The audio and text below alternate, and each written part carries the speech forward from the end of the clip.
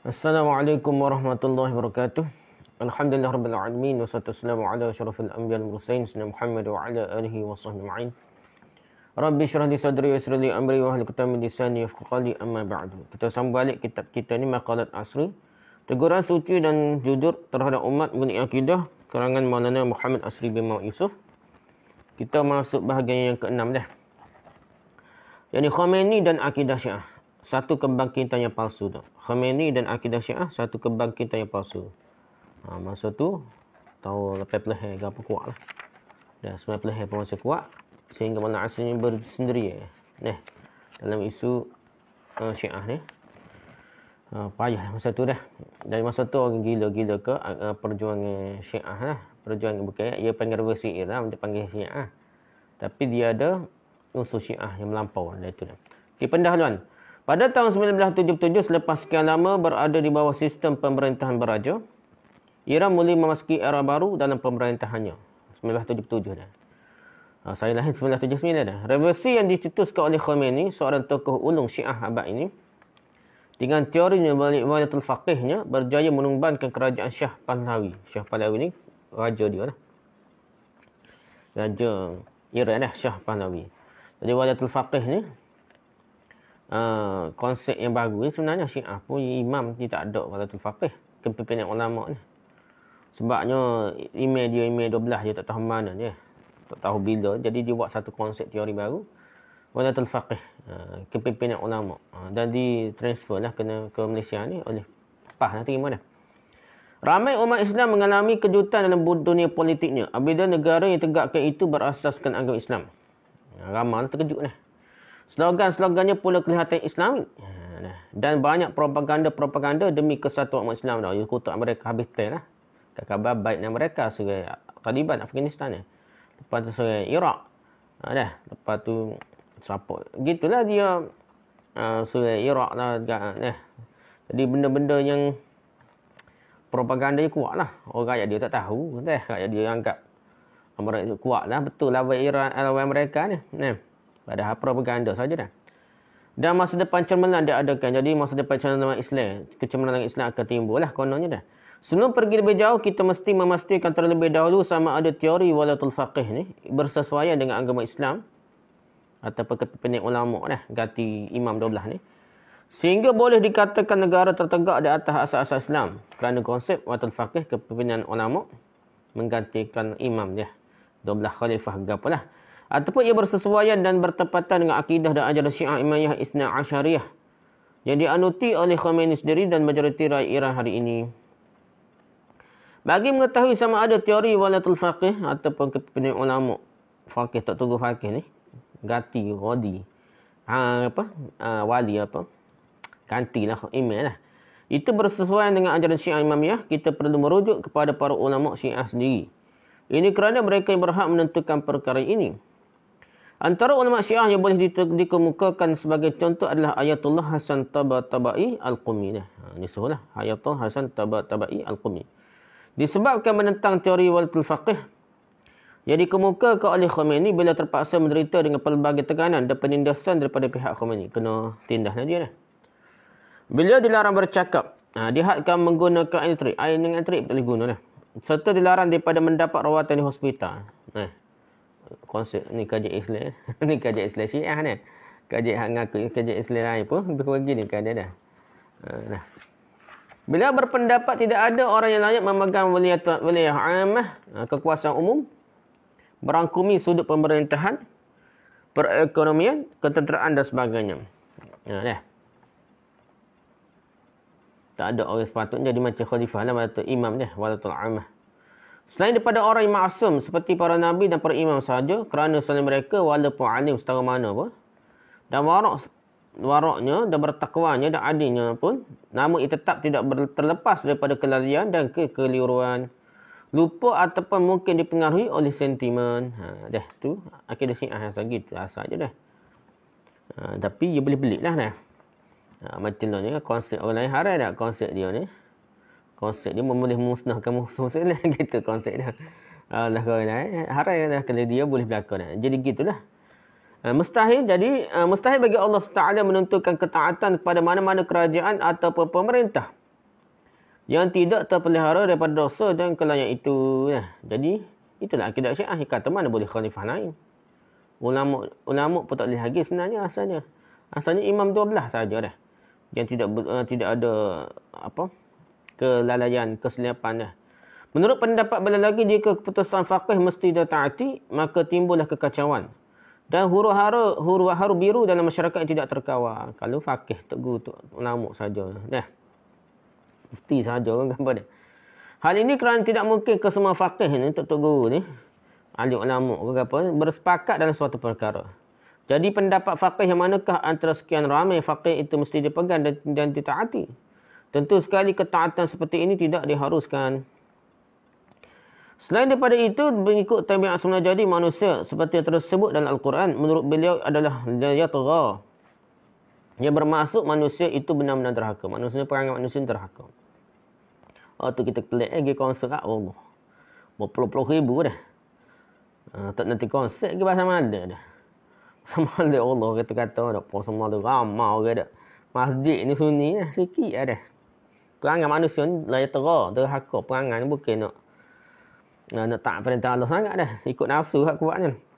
Seandainya seorang yang faqih itu betul-betul seorang yang adil, beragama dan jujur yang sehingga dapat kita katakan sifat-sifatnya ada padanya itu, akan menegahnya daripada melakukan khilaf dengan kehendak Allah dengan sengaja tetapi mungkin ia melakukannya dengan kelanian. Ya. Bahkan mungkin ia melakukan banyak sekali percanggahan kerana kelekaan dan terlupa. Oh dah, mana boleh? Ada jadi kepimpinan ulama tu betul faqih tak boleh ganti konsep imamiyah syiah lah. Ikut asal kita gitu. Benar dah. Sebab itu tak percaya pada khalifah lain. Khalifah Imam Abdullah ha. Khalifah lain tu bukan perampas bagi syiah ni. Okay, lepas tu. Ini berarti tindak tanduknya itu menyalahi kehendak Allah SWT dan kesemalahatan umum negara Islam. Walaupun dia tu uh, faqih tak guru setengah mana pun dah.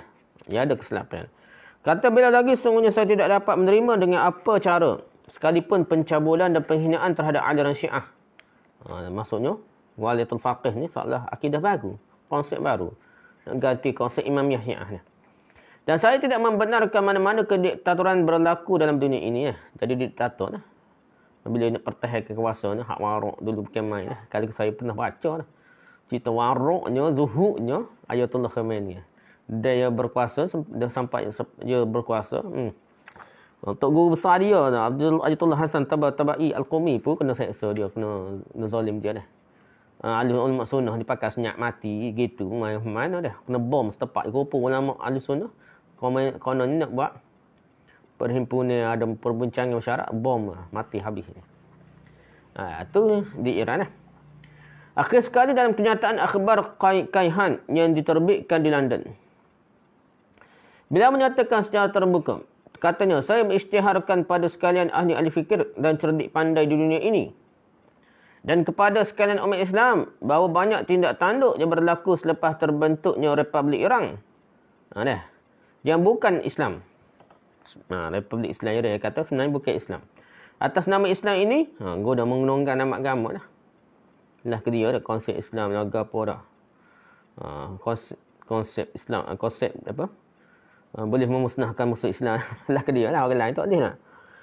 Ada Republik Iran yang bukan Islam digunakan atas nama Islam menongkan nama Islam ini, ini langsung tidak mempunyai hubungan dengan Islam yang sebenar pun. Dan agama yang dibawa oleh Nabi Muhammad SAW tak ada kaitan dengan agama Islam ni nak. Dan bertentangan dengan sekalian nas daripada Tuhan yang sudah sampai kepada kita. Saya mengisytiharkan kepada sekalian makhluk Allah SWT bahawa tidak ada sesiapa yang berhak mengkritik Islam. Dengan sebab tindak tanduk yang tidak berkemanusiaan, zalim lah. Dan tidak berakhlak yang sudah mereka, yang penguasa Iran lakukan. Kerana tindakan-tindakan itu langsung tidak ada kena-mengena dengan Islam. Dia hak naqdu alayati faqih Muhammad Ma'allah halaman 27 sampai 13 ke 1. Ni ni duduk di London eh. Tak tahu lah dia akhbar di London ke duduk dia duduk di London ke akhbar sahaja di London. Tapi nak cerita ni zalim lah dah. Sama-sama dia pun, sama-sama Syiah pun nak bunuh lah dah. Nak seksa dah. Nah. Ha, dah. Jadi berbuh atas nama Islam. Dah, berbuh atas nama Islam. Itu masalah ni. Republik Islam Iran panggil dah. Tunggang Islam lah. Dia Syiah sendiri berkata, Ha, tu bukit Islam dah. Kezaliman tu bukit Islam. Gitulah. Okay, Dr. Musa Al-Musawi. Seorang cendekiawan syiah berpendapat. Ha, Musa Al-Musawi. Walatul faqih adalah satu bid'ah. Bid'ah sana. Ha? bid'ah.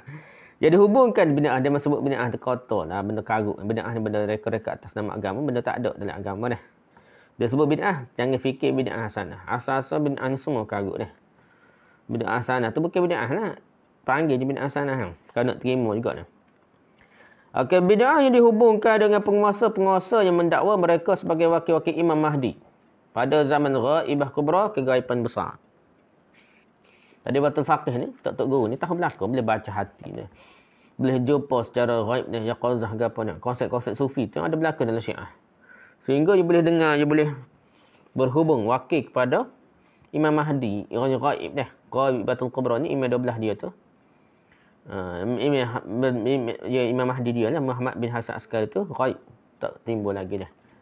Fikrah ini sebetulnya berpunca daripada fikrah hululiyah incarnation yang sudah merasapi pemikiran Islam daripada pemikiran orang-orang Kristian. Nah, dah. Jadi Syiah sendiri ni.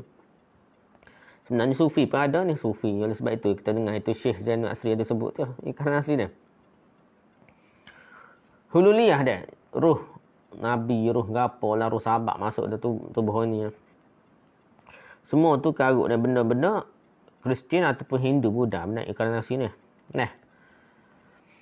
Pendapat yang mana Allah SWT sudah menjemur dalam Masih. Ha, dan Masih pula sudah menjemur dalam Pop Agung. Nah. Ha, ini maksudnya Kristian. Dan maksudnya sufi kita dah. Dan maksud dalam ni lah Allah Maha, Maha Allah ni dah. Ajaran sihat dan ajaran lain bukan sihat saja. Semua ajaran sihat kita melaka dah. Ha, dan dalam ajaran Islam sesak dalam ha, tufi tarekat ni ada unsur ni belakang. Unsur inkarnasi Allah. Dan Allah Muhammad, Muhammad Allah tu sebabnya Allah. Maksudnya Muhammad, Muhammad dan Allah tu sekali. Hulul, itihad. Tak ada unsur wahdatul wujud. Icapu habis. Pada zaman terdapatnya mahkamah-mahkamah inquisition di Spanyol, di Itali dan sebagai wilayah Perancis. Pop-pop ni dah. Pedri-pedri tok-tok guru ni dah. Menghukum orang Kristian dan lain atas nama kekuasaan ketuhanan yang mutlak. Ha, dia ada tempat siasat eh, gereja tu. Orang lawan Kristian ke apa, hmm, jaga je dah. Kritik saja pun. Masa tu, orang sain ni kira kuat bertentangan dengan orang putih ni. Eh, dengan Kristian. Ha, orang-orang sain, ahli sain. Banyak dia seksa dah. Sehingga dah timbulnya resonance, re, re, apa, res, resonance, resonance dah, dalam sejarah tu. Sebutnya nak lawan popok Tok-tok guru, tok lebar ni lah yang menunggak agama sehingga menyeksa orang saintis. Tak apa. Okey. Mereka ni pop-pop ni dah. Merintahkan supaya seorang dihukum gantung, dibakar ataupun dipenjara ke. Eh? Dalam itulah siapa-siapa lawan dah. Bid'ah ini meresap ke dalam pemikiran syiah selepas ghaibah kubra. Ha, dan bertukar menjadi akidah. Apabila para ulama syiah sibuk membuat perincian tentang imamah. Ha, eh ia DT. Apabila DT, kau DT ke tu, ia akan bagi teori baru dia. Eh. Dan sekali, jadi konsep dia tu jadi konsep Islam. Orang lain kena terima. Tak terima, sudah. Ha, ha, kita buat-buat ni, istiak-istiak kita buat kata parti lah. Jemaah Islam lah. Lepas tu orang tak masuk, sudah. ha, menolak uh, liberal lagi apa. Ni pun masalah juga. Eh. Mereka mengatakan bahawa imamah ialah satu jawatan ketuhanan yang diberikan kepada imam sebagai pengganti kepada Rasulullah SAW. Ya. Mereka kata imamah tu jawatan kutahanan. Bukan jawatan manusia, jawatan Tuhan. Tuhan kecil, Tuhan. Imam, imam, imam ni, imam 12 imam syiah ni Tuhan. Ha, pengganti pada Rasulullah SAW. Oleh kerana imam itu hidup, ini imam ke-12 hidup, tetapi ia terselindung. Dah. Terlindung daripada penglihatan mata kasar. Dah. Oh ni macam akidah. Apa tu? Qadir. Nabi Qadir ni hidup lagi dah ni. Itu semua tu. Ada unsur syiah. Benar syiah untuk membenarkan konsep imam dia 12 dia tu. Ha, ya, tak nampak. Maka uh, dengan ghaibnya itu ia tidak kelihatan kuasa ketuhanannya tetapi kuasanya itu berpindah kepada wakil-wakil Tuhan ketuhanannya. Wakil-wakil dia lah, wakil-wakil imam 12 dia tu. Kerana wakil itu menepati orang yang diwakili dalam semua perkara. Ha, wakil tu wakil imam tu, ha, wakil imam 12 tu supo dengan imam 12 eh. Jadi imam macam imam ke-12 eh. Asy-Syiah wa Tashih halaman 70. Ha, dah. Jadi kritik Syiah, uh, tokoh Syiah Dr. Musa Al-Musawi ni dia kritik Syiah. Dia kritik juga lah komunisme ni. Pada halaman yang dalam, dalam buku yang sama Dalam halaman yang lain dalam buku yang sama Dr. Musa Al-Musawi berkata konsep walatul faqih nah kepimpinan ulama ni bertentangan dengan nas Al-Quran dan sesiapa yang menentang nas Tuhan ia dikira terkeluar daripada Islam. Ha, Syiah atau Sahih halaman 73. Siapa dia dah. Uh, apa siapa dia kon dah terima konsep waktu faqih lawan Quran benar dah. Menentang nas Tuhan. Lah terkeluar daripada Islam dah ibu. Sementara Ayatullah Syariat Madari, ha, guru kepada Khomeini sendiri. Tok guru dia dah. Guru kepada Ayatullah Syariat Madari. Ha, guru kepada Khomeini sendiri yang mengurniakan gelaran Ayatullah kepada Khomeini. Ha, Ayatullah ni email lah, tok guru lah. Kita nak. Dan merupakan seorang tokoh ulama ataupun faqih yang besar dalam istilah mereka. Beliau pun memberi sumbang yang besar dan memainkan peranan yang penting dalam mencetuskan revolusi Iran. Ha, dia pun pokok tok guru Syiah ni pakak uh, kempen lah uh, propaganda per, uh, apa uh, bangkitkan semangat rakyat untuk menentang raja Syah Pahlavi ni. Pada umurnya yang menjangkau 80 tahun tu, beliau diserbu oleh Al-Ghaji Al-Ghaji Khomeini kerana menentang pendapatnya berhubung dengan betul faqih. Tok Guru sendiri pun kena seksa, kena hansul dia dah. Tok Guru akak apa nama Jatullah Khomeini ke dia lah. Tiba-tiba dia, kes dia lawan konsep betul faqih Khomeini ni, dia kena, kena serbu dah. Ayatullah Syiah Madari juga seperti tokoh-tokoh Syiah yang lain membataskan kuasaan faqih dalam bidang-bidang tertentu sahaja. Khomeini sudah menghantar ke 10 orang ribu algojonya menyerbu rumah Ayatullah Syiah Madari bagi membunuh beliau dan pengikut-pengikut beliau. Tadi Tok Guru kepada dia ni, Tok Guru pada Khomeini ni, kena bunuh. Kena tangkap ada uh, 10 ribu dah askar-askar uh, Khomeini ni nak pergi cerai Ayatullah Syariat Madari ni. So, kau orang lain, sama-sama syiah dia pun, kalau nampak lawan dia pun, habis lah. Jadi lawan Islam kot. Ustaz tak mana pelawan gen dia, jemaah dia. Okay, lawan Islam kot. Gini pok dia ni, berat dah. Demikianlah ini di, uh, dalam buku Dr. Musa Al-Musawi dalam Al-Thawratul Ba'isah. Al-Thawratul Ba'isah. Uh, halaman 1 ni. Demikian kita lihat teori walatul faqih itu adalah satu teori yang dikemukakan dan dipraktikkan oleh Khomeini. Tetapi dia tentang dengan hebat oleh tokoh-tokoh ulama syiah lain. Eh? Ha. Mereka juga tak mahu menerima teori itu sebagai sebahagian daripada ajaran Islam. Tak saya terima dah. Setara uh, konsep kepimpinan ulama. Eh, tak terima lah. Tokoh syiah pun tak terima dah. Kita perlu membandingkan antara akidah syiah anutan Khomeini dengan akidah Islam yang dianuti oleh majoriti umat Islam ini Islam itu atau dengan kata lain akidah ahli sunnah jemaah. Ha, kita banding pula. Ha, Syiah tu ikut dia, bal sama dia kan. Tapi kita nak banding dengan kita ahli sunnah jemaah ni. Sesak man tak betul mana akidah walatul faqih, akidah Syiah Khomeini ni. Hal itu bagi mengetahui sama ada teori walatul faqih kepimpinan ulama bersih Syiah tu tak? itu bersesuaian dengan agama Islam sebenar yang dianti oleh majoriti penganut agama Islam dunia ini ataupun tidak. Nah, nak cek. Okay, walatul faqih ataupun kepimpinan ulama adalah satu teori penubuhan negara yang dikemukakan oleh Khomeini dan dikuliahkan oleh beliau sekian lama kepada penganut-penganut syiah. Alasannya, nah, naik imam boleh menggantikan imam. Konsep ganti imam 12 dia dah. Dalam menubuhkan sebuah negara dan penubuhan itu dianggap sah Selepas mereka putus asa pada hakikatnya dengan kemunculan Mahdi yang tidak kunjung datang. Ha, itu marahnya lah. Imam 12 ni akidah syiah. Tiba-tiba ha, dia kata tak main mari Imam 12 ni kita buat negara sendiri lah kita jadi khalifah. Ya. Ha, jadi macam imam ganti. Imam macam Imam 12 jugalah. Imam ganti pada Imam 12. Ha, dah, kepimpinan ulama yang menggantikan Imam 12. Ha, dalam buku Khomeini dalam hukumah Islamiyah halaman 74. Ya. Sedangkan mengikut akidah syiah tidak ada sebuah kerajaan syiah pun yang boleh ditubuhkan ataupun ditegakkan sebelum kemunculan Imam Mahdi. Ha, tak boleh tubuh kerajaan selagi tak, tak mari Imam Mahdi. Itu asal akidah syiah. Mengikut syiah setiap negara yang ditegakkan sebelum kemunculan Imam Mahdi adalah tidak sah. Walaupun pembawanya berada di atas jalan yang benar sekalipun. Ya. Ha, negara itu tak sah. Al-Qulaini meriwayatkan daripada Abu Basir daripada Abi Abdullah yakni Ja'far Sadiq bahawa beliau berkata Setiap orang yang menjulang bendera sebelum qaim sebelum Al-Mahdi adalah tagut yang disembah selain daripada Allah SWT. Ar-Radah min Al-Kafi halaman 209. Jadi, julang bendera sebelum Imam Mahdi muncul dah. Tagut disembah selain Allah. Siapa-siapa buat negara, kempenan negara, tanpa sebelum Imam Mahdi mari maka dia sembah selain Allah. Tanpa tak tu dah. Uh, Syiah ni akidah benar dia kempen kajian ni akidah bagi dia. Ha, kita nak ahli sunnah tidak gitu. Akid bagi ahli sunnah sebenarnya bukan akidah. Email ke khalifah bukan akidah. Dia daripada dia melibatkan hal haram juga dia panggil khilafan secara khilafan ni fiqh lah dah. Bukan akidah. Cuma setengah-setengah ahli sunnah termasuk dan Imam Hasaban ada sebut tu macam akidah tu sebenarnya ada unsur terpengaruh lah juga sikit sebanyak dengan unsur-unsur syiah ni. Asalnya kajian ini ha, tak ada ahli sunnah kata tu adalah akidah ni. Ha, tu adalah perbincangan fiqh dia. Okey. Pensyarah kitab Al-Kafi Maula Muhammad Salih Al-Mazandarani uh, wafat 1080 Hijrah. Uh, kitab Al-Kafi ni. Dalam syarahnya terhadap kitab Al-Kafi yang dianggap sebagai syarah Al-Kafi yang muktamad. Kafi ni usul Kafi ni macam Sahih Bukhari. Uh, kitab Al uh, kitab apa? Al-Kafi Mazandarani ni tak? Syarahnya kitab Al-Kahfi ni syarah macam Fathul Bari lah. Kita lihat macam Fathul Bari lah. Okey. Um, syarah muktamad lah. Menyebutkan bahawa walaupun orang menjualnya itu menyeru kepada kebenaran sekalipun. Ya. Syarah Al-Kahfi jilid 2 halaman 371. Walaupun dia ni nak ganti email 12. Dah. Uh, dia walaupun dia apa kata ada dalam kebenaran sekalipun. Uh, dia kira tak boleh ha? macam tahu dia sembah selain Allah. Lah.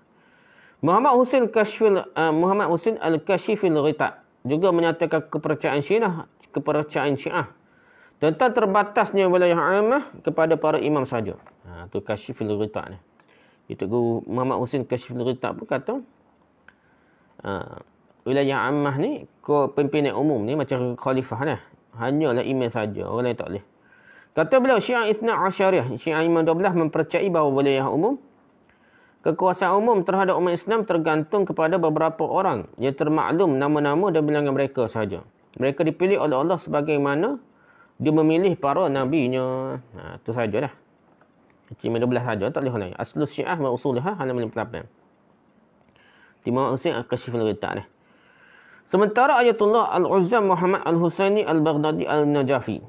Ha, pula mengatakan, sesungguhnya terlalu banyak riwayat daripada para imam yang mengharamkan pemberontakan terhadap musuh-musuh dan sultan-sultan yang sezaman dengan mereka. Ha, wa wujubul nahdah li hifzi al-baydah halaman 93. Ha, jadi memberontak pun tak boleh sebenarnya. Okey, Khomeini dan akidah Syiah. Dalam beberapa perkara Khomeini sudah menyalahi ajaran Syiah yang dipegang oleh majoriti Syiah Imam Isna, Imamiyah Isna Asyariyah, Imam 12 ni. Antaranya ialah teori walatul faqih seperti teori kepimpinan ulama seperti yang dikemukakan sebelum ini, ya. Oleh kerana itu adalah benar jika dikatakan ajaran dan trend yang dibawa oleh Khomeini ini suatu pecahan yang baru kepada aliran Syiah Imamah Isna Asyariah. Dan boleh kita namakan dengan Khomeinisme. Ha, ajaran baru daripada Syiah. Dia pecah, pecah daripada Syiah. Namun secara keseluruhannya Khomeini tetap berpegang teguh dengan akidah dan ajaran Syiah. Dan terima dalam kalangan Syiah Imamiyah Isna Asyariah secara turun-temurun. Eh, memang mengaji Isna Asyariah tak belajar benda lain. Dan dia kuat pergi Sehingga dia dipanggil Ayatullah Khamenei. Ya. Boleh dikatakan tidak ada perbezaan dalam akidah dan ajaran syiah yang diterima oleh generasi syiah yang terdahulu dengan syiah yang diterima oleh Khamenei ini tidak ada perbezaan sama sekali. Sama saja dah. Kecuali tadi, nama faqih saja. Walaupun ada hanya dari segi mempraktikkan konsep taqiyah dengan seluas-luasnya sampai ke peringkat negara dan antarabangsa. Itu ha, ada beza pun kalau melibatkan pentadbir antarabangsa lah. Antara dapat kita lihat dengan ketara adalah akidah Khomeini tentang imamah. Ismah ni, maksum ni. Tahrif Al-Quran. Quran ni ha, ada perubahan Quran ni. Sahabat. Ha, tentang sahabat semua kafir. Kami kafir juga. Taqiyah. Muta'ah. Kawin kontrak ni. Lain lagi. Syiah dahulu mempercayai imamah. Iaitu kepercayaan bahawa imam-imam dilantik dan ditentukan oleh Allah SWT. Imamah adalah salah satu rukun iman. Ha, tak percaya dia kafir terus. Tak percaya ke imam 12 dia lah. Sesiapa tidak percaya kepada rukun ini, ia tidak termasuk dalam golongan orang mukmin. Maka Khomeini juga mempercayai demikian. Sama saja. Akidah Khomeini pun sama ni. Dalam kitabnya Al-Hukumah Al-Islamiyah di bawah tajuk Wilayah Tawiniyah. Wilayah Tawiniyah. Khomeini berkata, sungguhnya antara akidah aliran kita yang asasi dan terpenting ialah para imam. Dua, dua belah imam itulah.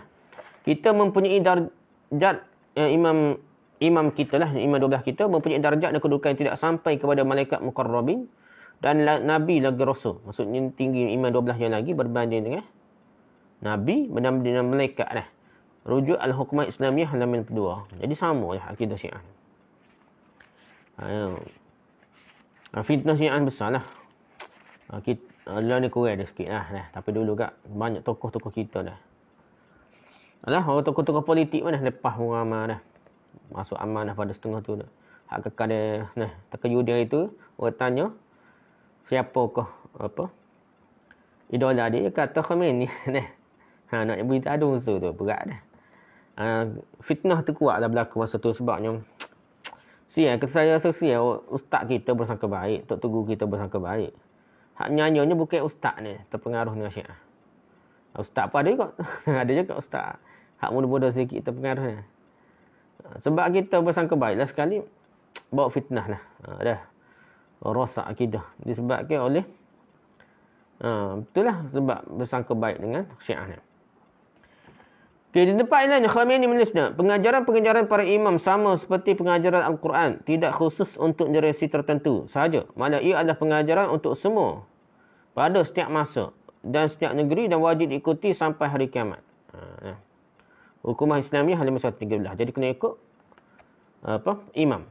Serupa dengan ikut Quran yang katanya. Tak kira generasi mana pun. Kena ikut sampai bila-bila pun. Imam 12 dia. Ha, tu Al-Hukumah Islamiah halaman 113.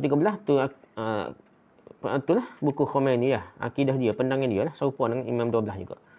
Okay, jika Syiah dahulu percayai para imam 12 itu adalah maksum. Terpelihara daripada dosa-dosa sama ada besar atau kecil.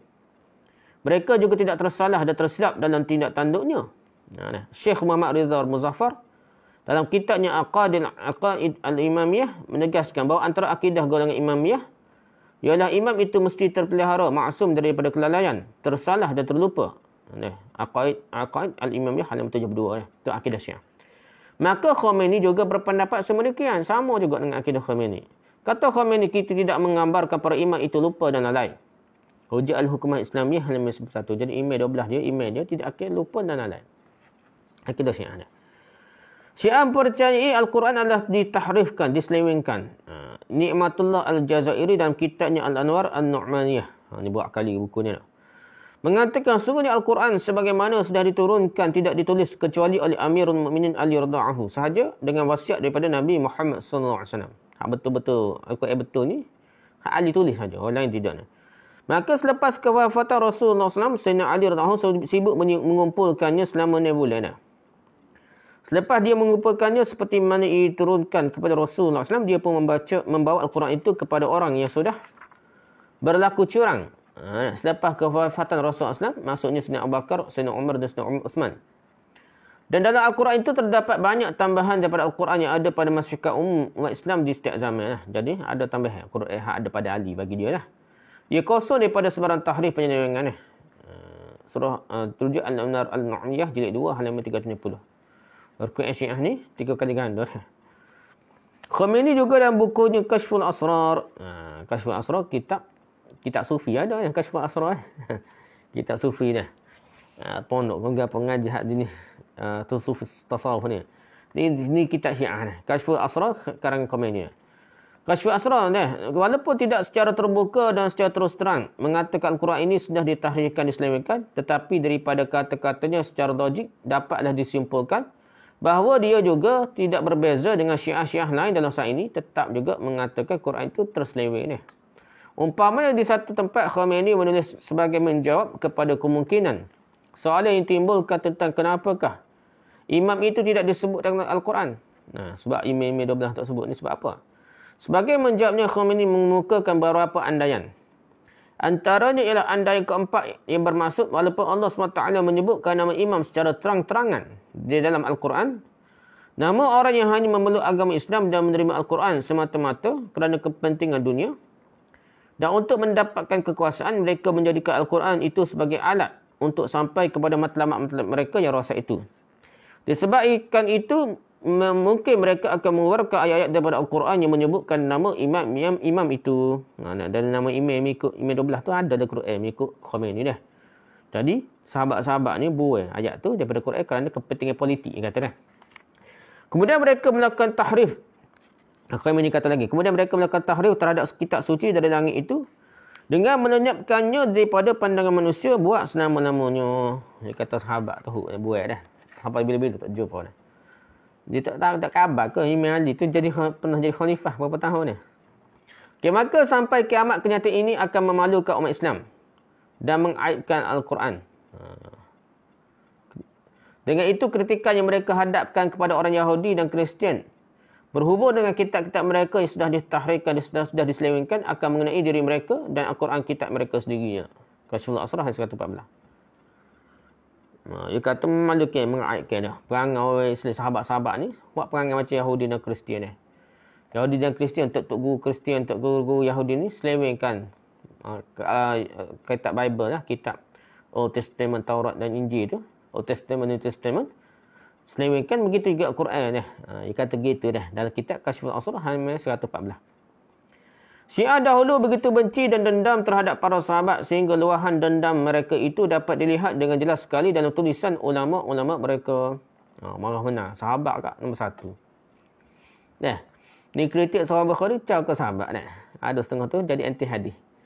Kerana dia kritik dia, dia terbaca mana lah tahu baca oh kata Abu Hurairah gini gini. Ha, adalah.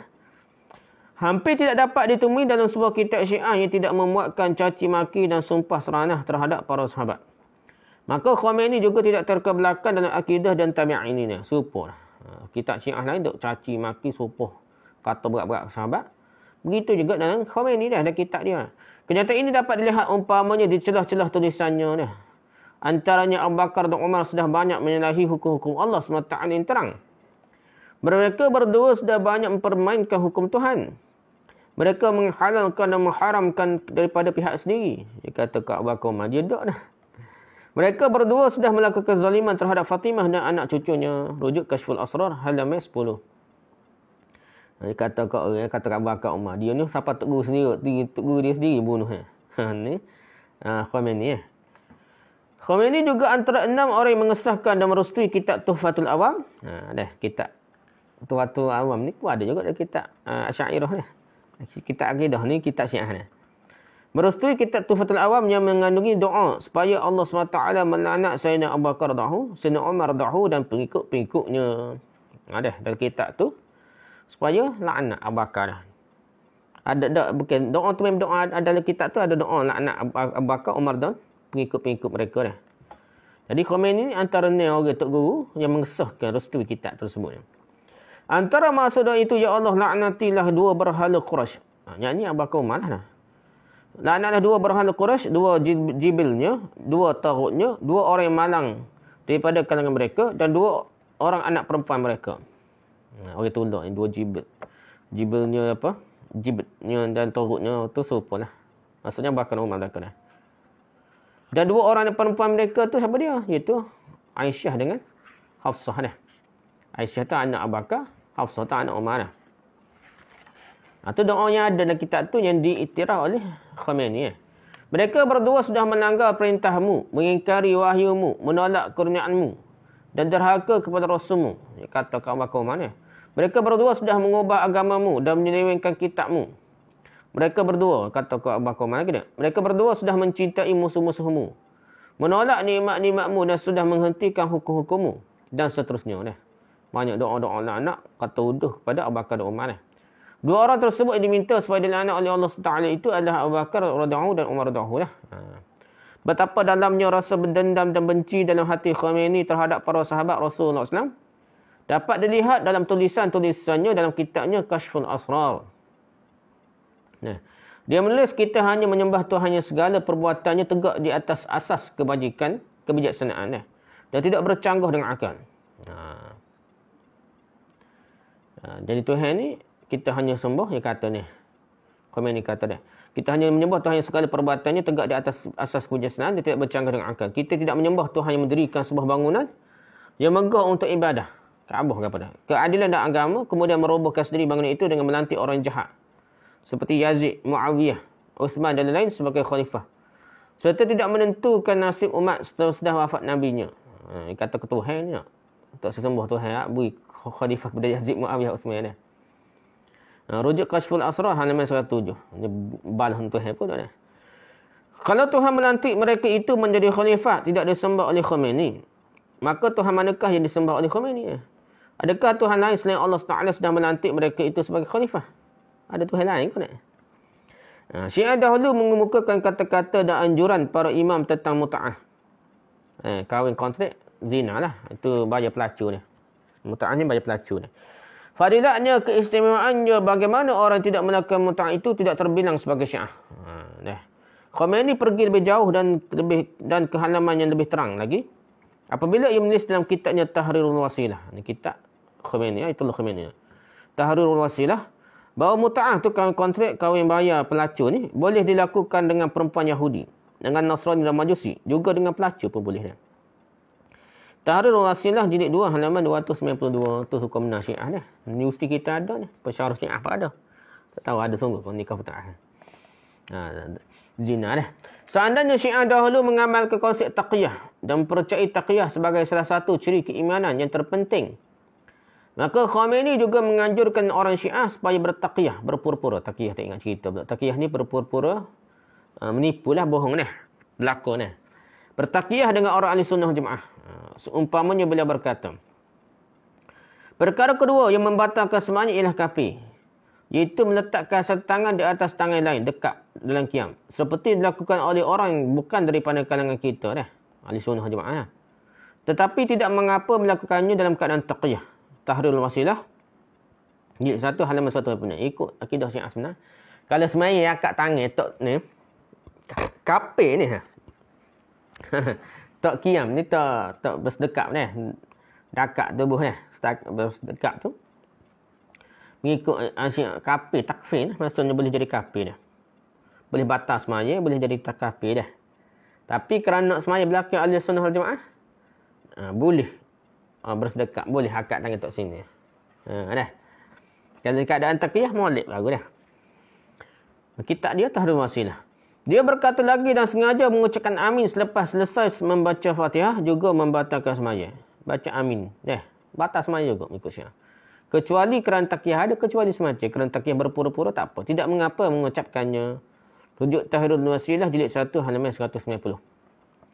Setengahnya terpedaya bila Khomeini menganjurkan penganut-penganut syiah bersembahyang berimamkan Imam Masjid Haram ketika mereka berada di Mekah. Khomeini ni anggap wahabi, kapi. Ya. Syiah ni anggap kapi. Tapi kerana nak semaya belakang Imam Masjid Haram, orang syiah boleh. Boleh semaya belakang atau Imam wahabi ni. Mereka berhujah dengan mengatakan bahawa Khomeini tidak seperti syiah pelampau. Dia menganggap tidak sah bersemayam di belakang ahli sunnah. Ha, dia kata gitulah. Ini kerana beliau sendiri menganjurkan supaya mengikuti Imam Masjid Haram yang berpaksikan akidah di sunnah wal jemaah. Sedangkan kalau mereka sedar betapa besarnya senjata taqiyah ini di sisi syiah. Kalau ustaz kita ni, Datuk Guru kita khabar. Besarnya senjata berpura-pura dan syiah ni. Sehingga dikatakan 9 per 10 agama terletak dalam taqiyah pura-pura berlaku ni. Tentu mereka tidak terpedaya dengan anjuran Khomeini tersebut. Itu tak boleh tertipu lah. Ni ustaz kita tertipu dah. Ini kerana mengikut akidah syiah bersembahyang di belakang ahli sunnah secara takiyah, secara pura-pura berlaku ni. Sama seperti berimam ke Rasulullah SAW dalam sah pertama. Berlaku mak lolok dah, tipu dah. Oh, semayang ni kita tipu, kita bukan ikut. Niat tu saya ikut ni. Ikut ni sebagai laku ni. Oh, seperti semayang di belakang Rasulullah dalam sah pertama dah berlaku ni. Padahal ajaran dia kalau sedekat ni boleh batas semayang dan boleh jadi kapi ni. Hmm. Mereka berakal kepada Ja'far As-Sadiq. Ha, ni reka lah. Ja'far, mungkin Ja'far As-Sadiq tu. Oh, ni. Ja'far As-Sadiq berkata, bahawa beliau berkata, siapa bersemayam di belakang imam ahli sunnah wal jemaah, secara taqiyah, seolah-olah ia bersemayam dengan dalam sah yang pertama, dengan berimam ke Rasulullah SAW. Ni. Belakang semayam dah. Dia ahli belakang ahli sunnah, dia macam belakang uh, semayam macam dia ni belakang Rasulullah. Macam sah pertama, belakang Rasulullah SAW. Besarnya pahala. Ha, rujuk man la yahdurul faqih jilid 1 halaman 2 ni kitab muktamad Musa dia lah. Hmm, nanti sahih Muslim juga apa gitu. Eh. Sementara itu dalam kitab Jabi'un Akhbar halaman 108 Ja'far As-Sadiq berkata Sesiapa bersebanyak di belakang munafiqin secara taqiyah. Ha, ahli sunnah ni kira munafiqin. Ia seperti bersemayam di belakang para imam. Ha, imam 12 dia lah. Rujuk Ibn Babuih Al-Qubi dalam Jami'un Akhbar. Halaman 108.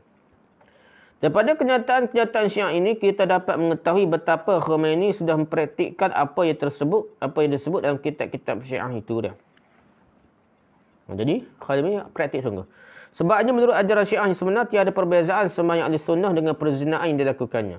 Ha, mengikut syiah ajaran syiah, orang sunnah, ahli sunnah kita ni, maya tu seperti berzina. Semaya tapi hakikatnya berzina, mengikut syiah. Rujuk Al-Qafi jilid 8 halaman 162, Tafsir Tafsirul Burhan jilid 4 halaman 403. Dan tidak bersemayam di belakang mereka ahli sunnah. Ha, At-Tusi dalam An-Nihayah halaman 112 tak ada semaya kecuali taqiyah ni.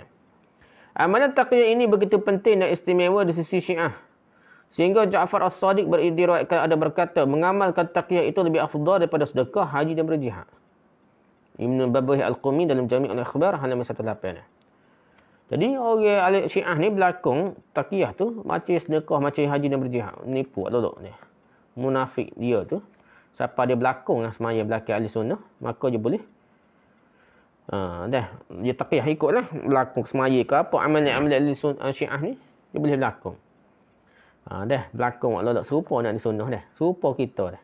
Pada hari syiah. Seperti sedekah haji dan berjihad. Ini hanya sebagai kecil daripada akidah dan amalan orang-orang syiah yang juga merupakan akidah dan amalan Khomeini juga. Jika ditinjau daripada pandangan Islam dan ditimbang dengan neraca keislaman serta keimanan yang sedia ada pada kita ahli sunnah al jemaah, yang merupakan majoriti umat Islam pada setiap zaman orang yang menganut akidah dan kefahaman seperti yang tersebut itu adalah sesat dan kafir. Ha, semua hak ajaran tadi hak kita sebut tu. Ajaran itu bukan main-main boleh menjadikan rosak akidah. Munafik dan rosak akidah batal syahadah. Itu rasa akidah ahli sunnah jemaah. Semua hak ciah syaya tu semua kufur lah. Ha, itu keadaan sebenarnya. Ha, kita lah berhati-hati. Kita tak boleh main... Dah ni dah. Hizbullah lah gapo dah. Nama gapo Nasrullah. Gapo nama dia? Lepas tu apa Syiah Houthi dah. Ni panggil Ansarullah gapo pula ni. Dulu Hizbullah dah. Ha, jadi gelar-gelar pun kita kena berhati-hati dia. Ha, kena molek. Laku ni tinggi dah. Lama kita tipu dia dah. Dia tipu je pakat dengan mereka. Walau sokong tak boleh kira dah. Pok-pok Syiah ni. Dia boleh benci bukannya golongan Kristian Yahudi ke apa. Bahkan ada sunnah jemaah. Itulah sebenarnya dah. Kita kena berhati-hati. Ha, kita bukan kata tak sokong dia lagi serai lagi rapah kapal ke apa. Tapi kita kena ingat dah. Jangan tipu mudah dia dah. Ada peristiwa di dulu-dulu. Dia tembak orang sunnah banyak di Palestin. Berapa ribu kena dah. Sebab apa? Ha, jadi kita adalah ha, masalah politik. Perega begitu. Lah. Masalah kita tak percaya sekata peratus. Walaupun apa macam nak tolong ya.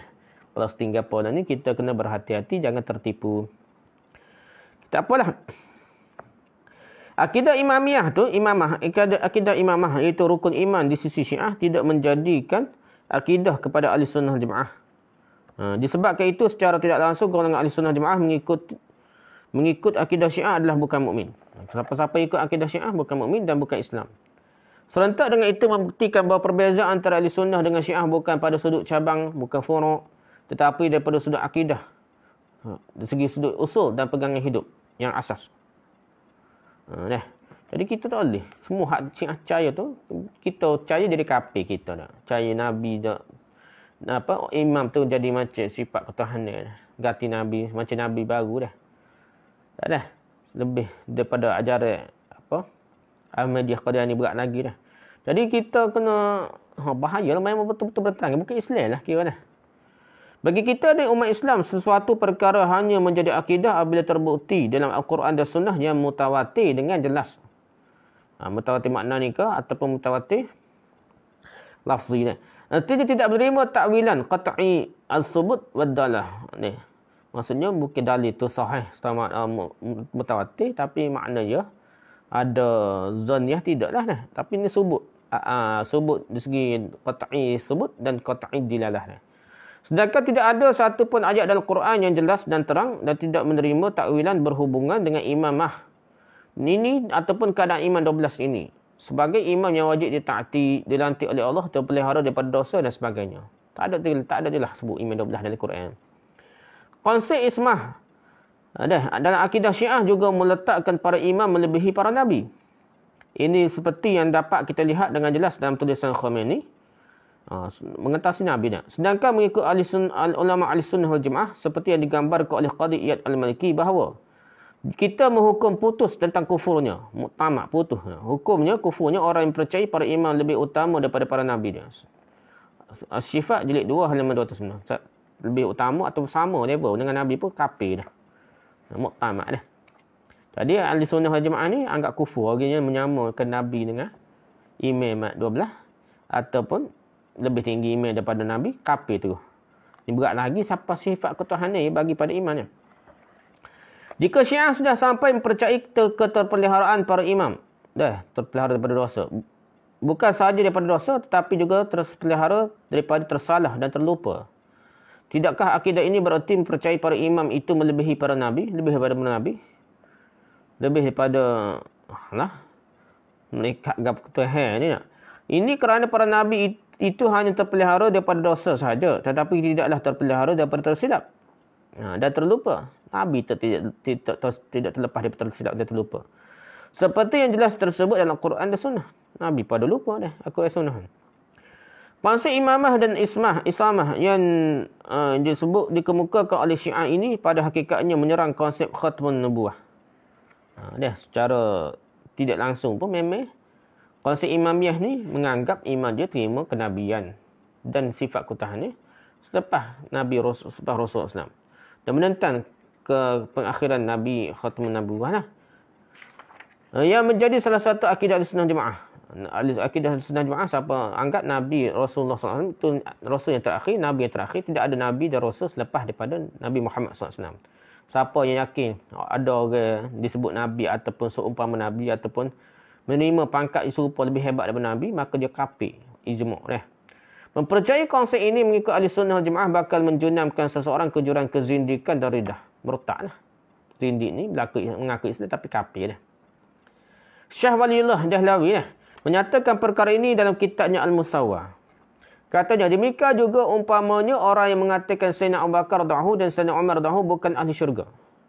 Sedangkan hadis yang menceritakan mereka berdua ahli syurga adalah mutawatir. Banyak doa. Dan, jadi Abu Bakar dan Umar ni, dalam Quran pada sebut Abu Bakar dah. Umar pula banyak lagi lah. Abu Bakar dan Umar dalam Quran ada hadis banyak. Mutawatir. Nah. Ia juga berkata memang Nabi Muhammad SAW adalah penyudah sekalian Nabi. Tetapi maksud penyudah sekalian Nabi itu ialah tidak harus seseorang yang datang selepasnya dinamakan dengan Nabi saja. Sifat ke Nabi lebih daripada Nabi dah. Sifat-sifat istimewa mereka lebih daripada Nabi tak apa. Sebut Nabi ya tak boleh. Ni belik gitulah aja sesak kau syiah ni. Adapun intisari dan hakikat kenabian itu keadaan seorang itu diutuskan daripada Allah SWT kepada makhluknya. Wajib ditaati, diterpelihara daripada dosa-dosa. Ha, dah dan terpelihara daripada berterusan di atas kesalahan dan kesilapan. Pada pendapatnya, intisari-intisari dan hakikat-hakikat itu ada pada imam-imam selepasnya. Dah. Dia kata tak sebut tak sebut Nabi tapi lebih hebat daripada Nabi dah. Si imam dia dah. Maka orang yang berfaham seperti itu adalah zindik. Ha, mengaku Islam tapi kafir dalamnya. Jumhur ulama mutakhirin daripada kalangan Hanafiyah dan Syafi'iyah sepakat menghukumkan supaya orang yang seperti itu dibunuh. Kafir, dia kena bunuh. Dah. Mazhab Hanafi, mazhab Syafi'i kata oh, orang itu kafir dia kena bunuh lah. Orang ngaku ni mana belah. Ha? Syarah Muatak Imam Malik jilid 2 halaman 110.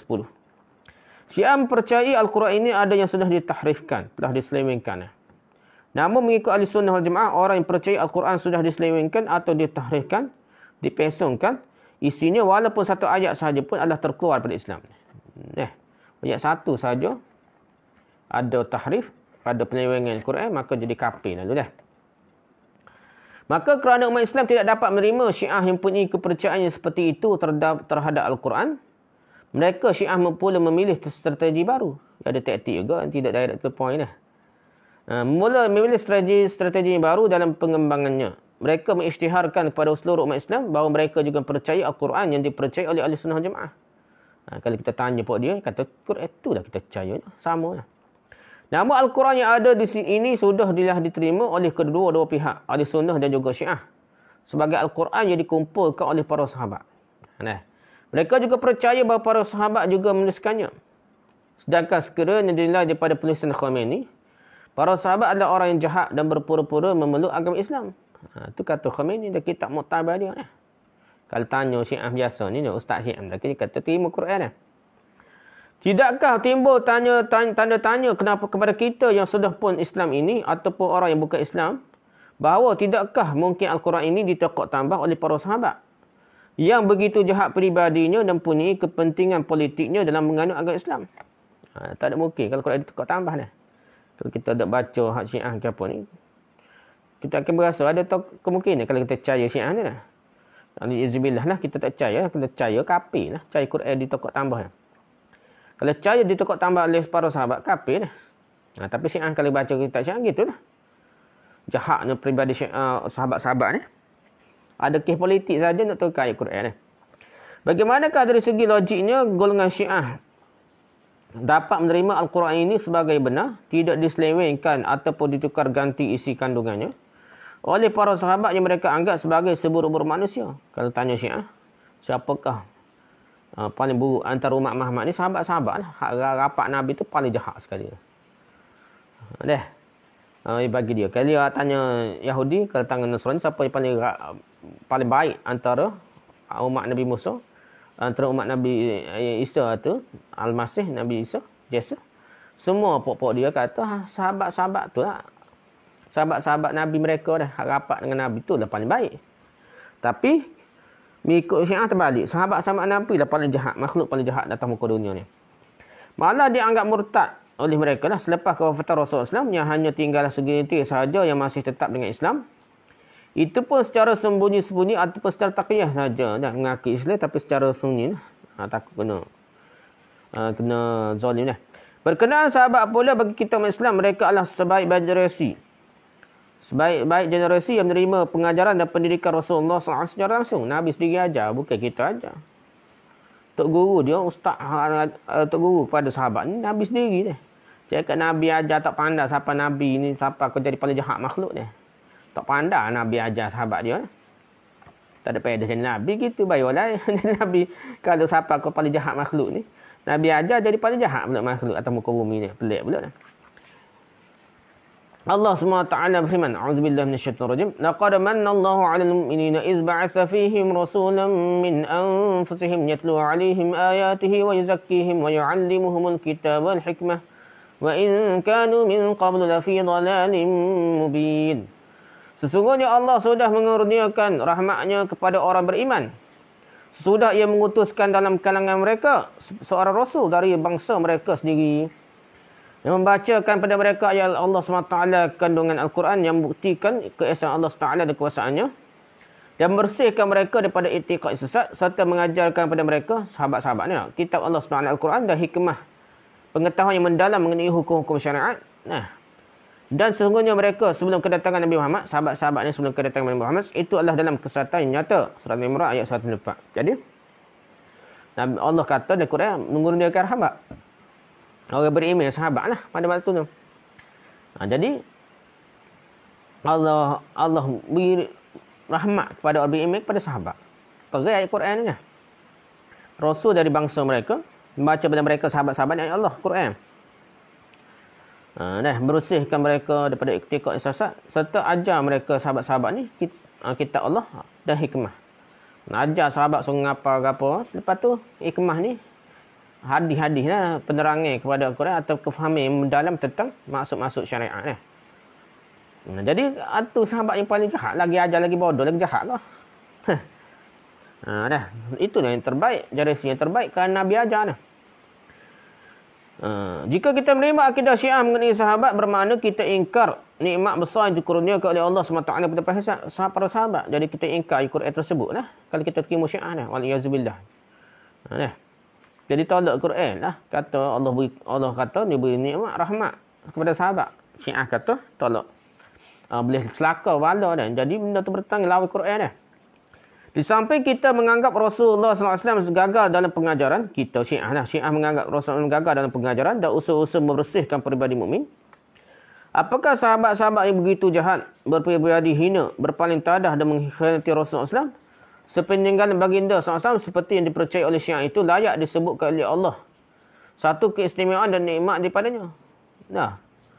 Ini boleh nikmat ni. Allah sudah mengerjakan rahmatnya kepada orang beriman, orang beriman, Nabi, sahabat-sahabat tu dah. Sudah ia mengutuskan dalam kalangan mereka dah, kalangan sahabat. Jadi Allah puji, Allah kata boleh beri nikmat, rahmat kepada sahabat. Tiba syiah cahaya lain ni. Sedangkan selepas sekian lama mereka mendapat pengajaran dan pendidikan Rasulullah SAW secara terus, direct. Mereka tetap sesak, bahkan menyesakkan pula umat Rasulullah SAW. Adakah begitu? Betul kalau gitu. Dah, orang yang terawal, yang bersungguh-sungguh bela agama Islam ni. Sahabat-sahabat Nabi. Takkanlah sahabat dia paling sesak pula dah. Takkan kau lama kau bagus dah. Hak sahabat dia paling jahat. Hak Nabi ajar paling jahat. Pelik tu dah. Tu syiah tu karut dah. Bagi ahli sunnah jemaah, keimanan para sahabat dan peribadi mereka merupakan pengukur dan penilai kepada keimanan dan peribadi orang Islam mereka. Sahabat dia kira paling jauh. Eh, tak ada paling jauh dengan berbanding sahabat. Gila orang sebab ha, pak imam eh, imam apa pak mazhab kau dah. Pak pak mazhab kau siapa imam pak mazhab kau? Tok tok guru hebat setengah mana kau. Deh. Si Abdul Qadir Jalani kau, nah mu tok wali tok wali hebat setan mana tak boleh lawai sahabat. Tu akidah ahli sunnah jamaah ini adalah berdasarkan firman Allah SWT fa in amanu mislima amantum bihi faqad ihtadaw wa in tawallaw fa innama hum fi shiqaq fasakfikahum Allah wa huwas samiul alim maka kalau mereka beriman sebagaimana kamu beriman kamu ni sahabat buat perbandingan ni kita kau selain pada sahabat ni kamu beriman ni kita buat contoh buat perbandingan Buat standard das dia, SOP dia, sahabat. Uh, dah. Mereka beriman sebagaimana kamu beriman, sahabat beriman dengan kita-kita Allah Ta'ala dan Rasul-Rasulnya. Maka sungguhnya mereka, orang lain lah, selain sahabat, sudah beroleh petunjuk. Dan jika mereka berpaling, uh, serta tidak mau beriman dengan sebenar-benar iman, uh, seumpama sahabat, maka sungguhnya mereka akan tinggal berkekalan dalam perbalahan dan perbalahan dan berpermusuhan dengan kamu. Siapa-siapa tak ikut sahabat, nak buat secara sesak, kurang ke atau berlebih berdoa melampau ke tak ikut sahabat. Sahabat tu standard das SOP kalau lebih daripada sahabat sesak barak sama kurang atau berlebih oleh itu janganlah engkau khawatir wahai Muhammad kerana Allah Taala akan memeliharamu dan umatmu daripada kejahatan mereka kejahatan selain daripada sahabat ni dan dialah yang maha mendengar lagi maha mengetahui surah Al-Baqarah ayat 137 dalam Quran ni ayat ni kita kena stand SOP dia nak tahu betul salah ni kita ikut sahabat Sebenarnya golongan Syiah sudah pun berancang untuk merobohkan Islam secara total, secara keseluruhan. Di sebalik mereka menghentam dan memukul para sahabat itu. Orang jarah ta'adin, cara orang selepas sahabat, dia duduk cara ke Abu Hurairah. Sebab Abu Hurairah, Ibn Abbas ke apa, cara pokok ke sahabat besar dah. Dia nak kritik sahabat ni, tak mungkin berjumpa, tak mungkin terima hadis ni. Dia kritik sahabat ni. Itu kerja eh, Syiah ni. Orang lepas daripada sahabat dia perangai pun gapo tak tahu dia. Tak pernah kenal dah untuk cerita. Pelik-pelik riwayat pelik-pelik. Percaya. Sahabat ni jahat. Ni perangai syiah. Jika sahabat diragui dan dipertikaikan bukan sahaja hadis-hadis akan dipertikaikan ataupun ditolak. Bahkan Al-Quran sendiri pun akan tertolak dan dipertikaikan. Al-Quran pun sahabat tulis. Muawiyah tu je tulis Quran ni. Ada petikan sahabat tolak Quran lah sekali. Ini kerana kedua asas Islam ini disampaikan kepada generasi kemudian oleh para sahabat Rasulullah SAW. Hakikat ini sudah pun disedari oleh ulama Islam sejak zaman berzaman lagi. Dia sedar ni bahawa syiah ni sebenarnya nak tolak Islam. Dia berlakunya dia revolusi Islam ni. Kepimpinan ulama slogan Islam ni. Sebagai contohnya dapat kita kemukakan pendapat seorang ulama hadis yang terkenal daripada kalangan salaf iaitu Imam Abu Zur'ah Ar-Razi wafat 244 Hijrah kata beliau. Apabila engkau lihat seseorang mencari-cari kesalahan mana-mana sahabat Rasulullah SAW, cari salah. Sikit-sikit ipu hurah dah. Suka benar jumpa salah sahabat. Kesilapan sahabat untuk dihurai semakin nampak semakin besar, jahat nak sahabat dia. Maka ketahuilah bahawa sesungguhnya orang itu adalah zindik. Kapi mengaku beriman dah. Kapi sebenarnya. Kerana Rasulullah SAW di sisi kita adalah benar. Dan Al-Quran juga adalah benar. Nah. Rasulullah benar, Quran benar. Al-Quran dan Sunnah disampaikan kepada kita oleh sahabat-sahabat Rasulullah SAW. Mereka sebenarnya mahu mencederakan saksi-saksi kita bagi membatalkan Al-Quran dan Sunnah. Yang nak batal Quran Sunnah. Yang batal Quran sekali. Tolak Quran. Sebab itu syiah ni. Dia tak mengapa Quran apa dia ni. Mereka itulah yang patut dicederakan. Itulah dia orang yang zindik. Nah, itulah orang kapi sebenarnya dah. Khatib Baghdadi dalam Kifayatul Fil Al-Mini Ruayah halaman 49 itu kata Abu Zur'ah Ar-Razi dia. Ha, jadi Uh, memanglah tu kafir. Benda yang boleh menyebabkan kafir. Kita tak kata kafir pun kafir. Tapi orang individu tunggu dulu. Terjumuk, jumpa dia ucap ucapan kufur ke apa pun. Tunggu dulu, tanya. Maksud yang sebenar. Dia pehegan tak. Kita pohora sehingga dia tarik balik benda yang salah. Jangan cepat ketemu kafir lalu. Dia. dia menyatakan hukum lain. Menyatakan hukum lain, menghukum individu tu lain. Atau puak tu lain. Kena pehegan. Kesimpulan pertama, daripada perbincangan yang lalu, nyata kepada kita bahawa kebangkitan Republik Islam Iran, revolusi Islam Iran yang kata dah. Yang berteraskan walatul faqih, itu, kepimpinan ulama itu adalah satu kebangkitan yang palsu. Dia ditinjau daripada sudut ajaran syiah. Dan juga daripada sudut ajaran ahli sunnah jemaah. Ajaran syiah yang asal pun, dia kata karuk dia palsu. Ahli sunnah sama jemaah ni, syiah ajaran syiah dulu ke ajaran syiah Khomeini ke semua tu kapi ku, karut neraka lah. Ha, ianya lebih tepat dengan nama kebangkitan Khomeinis, Khomeinisme yang langsung tidak ada perkaitannya dengan agama Islam yang suci. Yang kedua, penamaan sesebuah negara sebagai sebuah negara Islam. Tidak menjadikan sebuah negara itu Islam pada hakikatnya. Ini penyakit ni. Mahkamah syariah pun serupa tak? Mahkamah syariah tu kalau kita nak kata boleh terima, boleh panggil uh, apa banyaknya adalah hukum ta'zir lah. Hukum hudud tak ada. Ni. Kalau tukar bu yang nama mahkamah syariah ataupun terima CB pun. Ataupun gabung ni. Terima CB belakang dah. Tapi hukum nikah kahwin dia, terima hak sah. Hukum lain tu terima CB. Tak, walaupun apa tak ada mahkamah syariah pun, tidak ada masalah. Bukan hukum Islam tu. Eh, sebab hukum Islam ni kena ada hukum Al-Quran Sunnah. Ta'zir, ta'zir. Serupa mahkamah CB, mahkamah syariah pun serupa je. Dan bahkan lebih hukum lebih berat mahkamah sibir berbanding hukum mahkamah syariah. Lebih tinggi lah ni ya. Kalau kita nak suruh sakit hati pok-pok LGBT kan, baik guna mahkamah sibir berbanding dengan mahkamah syariah hak rendah hukumnya dia. Nah, jadi benda tu kena faham. Kadang-kadang bubuh nama Islam dah. Uh, forex, Islamik, Forex. uh, dah, ustaz, setengah-setengah ustaz kita dah. Uh, ikut uh, patuh syariah, Forex patuh syariah. Padahal dia tidak ikut riba, tetap ada riba. Bubuh nama syariah, kau bubuh Islam, kau bubuh nama Islam, tetap haram juga lah. Kena faham dah. Uh, jadi, kebangkitan Khomeini yang langsung tidak ada perkaitan dengan Islam. Okey, yang kedua, penamaan sebuah negara sebagai sebuah negara Islam tidak menjadikan sebuah negara itu Islam pada hakikatnya. Hal ini kerana Islam dalam istilahnya ialah negara yang polisi pemerintahannya terletak di tangan orang-orang yang benar dalam akidahnya. Nombor satu, kena betul dulu akidah betul dah beberapa negara Islam akidah Syiah hmm, pudah jana itu dah Perkara ini sesuai dengan Al-Quran dan Sunnah yang sahih serta mendaulatkan segala hukum-hukum hakim Islam yang berpunca daripada kedua-duanya, berpunca dari Al-Quran dan Sunnah. Sesebuah negara itu tidak menjadi negara Islam semata-mata dengan menamakannya negara Islam. Jemaah Islam, parti Islam, orang Islam dah. Aman Palestin. 70 juta dah. Selesai dah. Uh, dah. NGO Islam dah. Ha, nah. Dia tidak terus nama Islam kan? Islam dah. Ha. Tetapi mesti memenuhi tuntutan-tuntutan Islam dan istilah yang diterima oleh para ulama Islam. Terima betul dari Islam dah. Bebuh nama Islam macam mana pun. Rasuah melaku juga. Benda haram buat juga. Support lah. Tak bebuh nama Islam pun kalau ikut standardized SOP Islam aja. Betul lah. Tak bebuh nama Islam pun dah.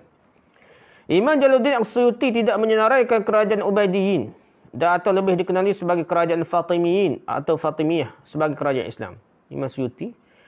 Nah, dia kata kerajaan Fatimah ni kerajaan Ubaidiyah ataupun kerajaan uh, kerajaan apa Fat, uh, Qaramitah ni. Dia ada ada kaitan Syiah juga dah. Qaramitah, Qar Fatimiyah ni Syiah Ismailiyah ni. Supaya uh, Syria lah ni lah. Nah, berat lagi lah masa tu dah. Atau Fatimiyah sebagai kerajaan Islam. Ini disebabkan kekhalifahan mereka tidak sah atas berapa faktor. Masa tu pun ada dah dua tiga buah kerajaan yang macam tidak berpusatkan Turki ke apa tak, khalifah tidak. Tapi uh, kerajaan Islam Abbasiyah ke Baghdad ke apa tidak. Jadi masih terima lah. Hal ni tak terima langsung ni. Hal ni ni kerajaan Fatimiyah ni tidak terima lah. Antara disebutkan oleh beliau ialah kebanyakan mereka itu adalah orang zindik yang terkeluar daripada agama Islam. Ha, dah. Mengaku Islam tapi sebenarnya kafir. Itu kata Imam Jaludi Asuti terhadap kerajaan Fatimiyah. Dan Fatim Fatimi ni, serupa dengan kerajaan Iran, Iran ni. Lah.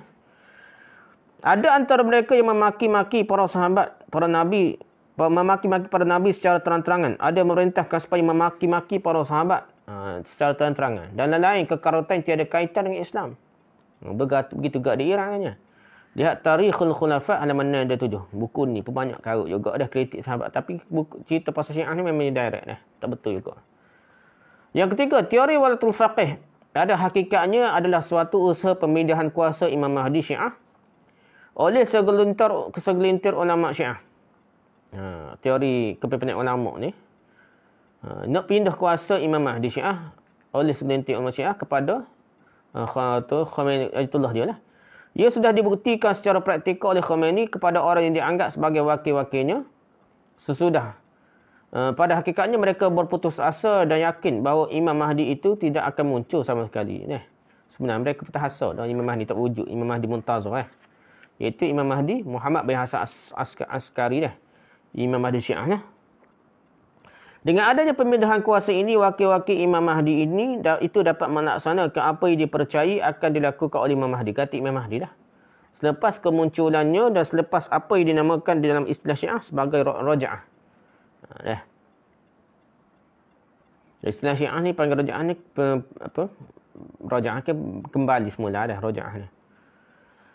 Antara yang akan berlaku menurut kepercayaan mereka ialah Imam Mahdi membongkar kubur Sayyidina Abu Bakar dahu, Sayyidina Umar dahu dan lain-lain yang kononnya memusuhi Ahli Bait.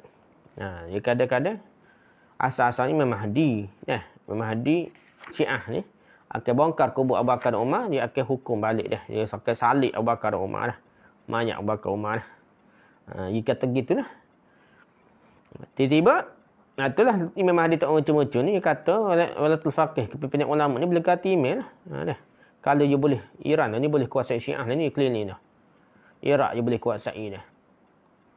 Uh, Yaman tu nampak kuat mula dah. Di negara Ethiopia apa, bawah daripada, apa, kerajaan, eh, bawah daripada Sudan ke apa ni, pok-pok tu, pun maksudnya kuat daripada syiah dah. Dan syiah ni dia nak keliling Arab Saudi dah. Dia nak kuasai syiah ni, yang kuasai Syiah ni keliling Arab Saudi. Lepas tu dia nak terampas Arab Saudi daripada Ahli Sunnah Wal Jemaah lah. Ha, dah. Lepas tu dia akhir kompok ni nak buat. Dia nak ganti kerja-kerja Imam Mahdi dia tu dengan pok dia lah. Kemudian melaksanakan hukum hudud terhadap Aisyah. Ha, buat tu banyak Aisyah pula dah. Ha, melaksanakan hukum hudud terhadap Aisyah yang dituduh dan oleh mereka sudah berzina dengan Safwan. Hadis kata Safwan Aisyah berzina dengan Safwan tu ataupun apa? Aisyah. Uh, itulah berzina tu dah. Dalam Quran nafik dia kata Syiah percaya dah ia lawan Quran pun dah. dia kata Aisyah ni berzina.